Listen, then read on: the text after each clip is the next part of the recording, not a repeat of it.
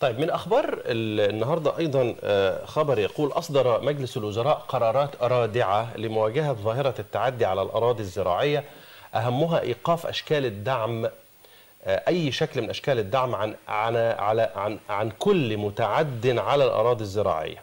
المجلس وافق أيضا على مشروع قرار بتعديل قيم الحد الأدنى لإجمالي الأجر للموظفين والعاملين للدولة، إحنا قرأنا الخبر ده في الصحافة. آه كما كشف رئيس الوزراء عن التنسيق مع السلطة التشريعية للوصول إلى صيغة قانونية تعيد التوازن بين المالك والمستأجر في ملف الإيجارات القديمة، الثلاث قضايا دول كانوا من أهم أنشطة مجلس الوزراء بالأمس. صحيح. مسألة التعدي على الأراضي الزراعية ومسألة آه آه تعديل قيم الحد الأدنى للأجور للموظفين والعاملين بالدولة والتنسيق مع السلطة التشريعية في مسألة الايجارات القديمة، الايجارات القديمة دي صداع فعلا يعني. طيب خلينا لمتابعة مزيد من التفاصيل معنا على الهاتف أستاذ سعد عامر رئيس الإدارة المركزية لحماية الأراضي، أهلا وسهلا صباح الخير. أهلا يا فندم صباح الخير وصبح على الشعب المصري اللي هو هدف القيادة السياسية وهدف معالي الوزير وهدف كل تنفيذي على في نعم على مهندس سعد مصر كلها. مهندس سعد المتأمل الحقيقة أو المتابع مش متخصص بس المتابع كمواطن عادي خالص لحجم التجاوزات أو التعديات على أراضي الدولة واللي الدولة حاليا بتقف بالمرصاد لهم وبتسترد أراضيها مرة تانية بشوف أرقام مخيفة للغاية. يعني أنتوا إزاي حضراتكم بتتعاملوا مع هذا الكم من التعديات؟ ولازم كمان أثمن الجهود الخاصة بحضراتكم في استعادة هذه الأراضي من جديد.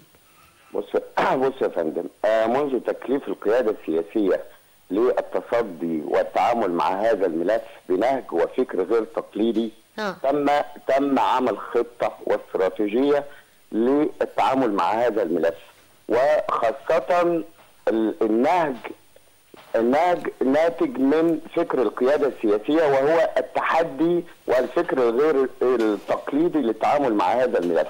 آه. تم عمل خطة ممنهجة للوصول للتعدي صفر والوصول على استرداد الجزء جزء كبير من الم...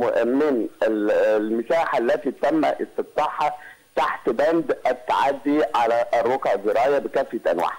منذ منذ ذلك تم التنسيق مع المحليات على وجه السرعة وذلك لعمل غرف مع غرف عمليات بتحت مسمى لجان المنع وليس التعامل بعد التعدي من القاعدة إلى القمة حيث تم التنسيق مع المحليات لاصدار لإصدار تلك القرارات ولحسن الحظ تم صدور ست ست قرارات من السادة المحافظين لقرارات المنع اي أي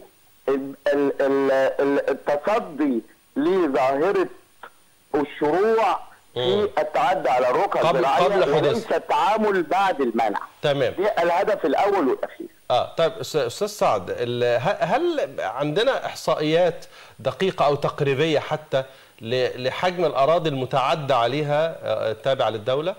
بص يا فندم إحنا في المرحلة الحالية المرحلة الانتقالية منذ آه، منذ ال- التوجيه على تدقيق البيانات هو حوا- حوالي المساحة ال- مش هنخش في تفاصيل بأرقام. على أساس إحنا في مرحلة انتقالية للتدقيق آه، لكافة الأرقام وتوحيد ال- الجهات والمشاركة الكاملة من كافة الجهات. لكن في حصر بهذه. الأراضي يا باشمهندس سعد يعني حتى لو ما فيش في- أرقام في حصر بيها. بص يا فندم في حصر بس أنا في المرحلة منذ تكليفي لهذا الملف أنا حريص ما اقولش رقم الا ما يكون محدد ومدقق ومن ومن نتيجة تحديد هذا الرقم تم اتخاذ إجراء منذ 48 ساعة آه، للتدقيق في تلك البيانات وذلك بتوحيد كافة الأرقام من كافة جهات الولاية. لسه أنتم في سبيلكم و- لت- و- لتحقيقها وتدقيقها وتدقيقها نظرا طيب. و- وترتب على ذلك صدور آه، دولة قرار آه، دولة معالي مجلس الوزراء آه. أمس لتشكيل لجنة مركزية، لجنة مركزية للجان للمتابعة لكافة لمتابعة لكافة أنواع ال- ال- التعديات ومنعها من على من من القاعدة واستقبال كافة البيانات من من السادة المحافظين إلى تلك اللجنة وذلك حتى يكون الأرقام التي تعرض على دولته أرقام دقيقة. وليس في وليس فيها أي طيب. تلاعب ولا ولا مخالف للحقيقة. طيب. حضرتك قلت انه كنتوا بتتصدوا لهذه المشكلة يا باشمهندس سعد بفكر غير تقليدي. إيه الفكر غير التقليدي يعني هنعمل الفكر إيه؟ الفكر الغير تقليدي كمثال. ال- ال- كافة الإزالات التي كانت تتم في السابق لم تعاد الأرض إلى حالتها الزراعية تم التوجيه فورا لكتابه في محضر الازاله ألا تعد الازاله إزالة كلية الا بعودة الأرض إلى حالتها الزراعية. الفكر الغير تقليدي تم التوجيه لح- لحصر كافة المساحات ال- الموجود عليها الإنقاذ واتخاذ كافة الإجراءات القانونية والإدارية لعودة تلك المساحات إلى الرقعه الزراعية وذلك بدون تكليف الدولة أي جهد وليتم رفعها بمعرفة المخالف شخص نفسه نعم. بمعرفة المتعدي نفسه نعم. حتى لا تكلف الجو... الدولة أي جهد في المرحلة ال- اللاحقة نعم مهندس سعد الإيجارات القديمة وتحتها ألف خط آه، آه، مبدأ الإيجارات القديمة آه، في فكر الجمهورية الجديدة هو تعظيم الاستفادة من كافة أي مساحة سواء تستغل بوضع اليد سواء تؤجر في نهج في ظل الفكر الغير تقليدي للقيادة السياسية والجمهورية القدي- الجديدة وهو تعظيم كافة الاستفادة من كافة مقدرات الدولة يتم التعامل حاليا بفكر آخر وهو تعظيم الاستفادة بكافة أنواعها. مهم.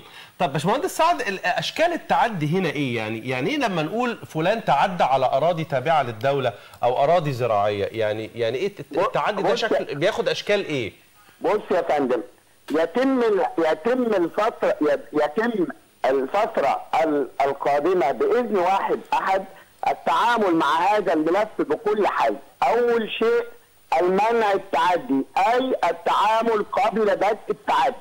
أشكال التعديات عديده. أشكال التعديات آه. كتدوير زي- الأرض الزراعية آه، زي بكافة أنواع- كتدوير الأرض الزراعية تم التوجيه في المرحلة الحالية لاستعادة كافة الأراضي المبورة وذلك بتحرسها ورج- ورجوعها إلى رقعة زراعية على وجه السرعة.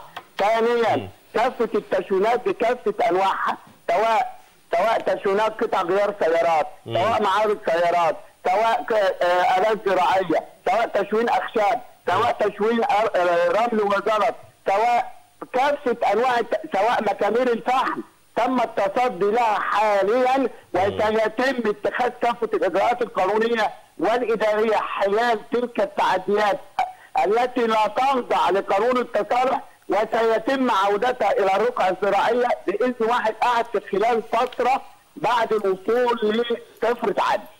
آه. طب آه، آه، باشمهندس سعد أنا هرجع معاك لمسألة الإحصائيات.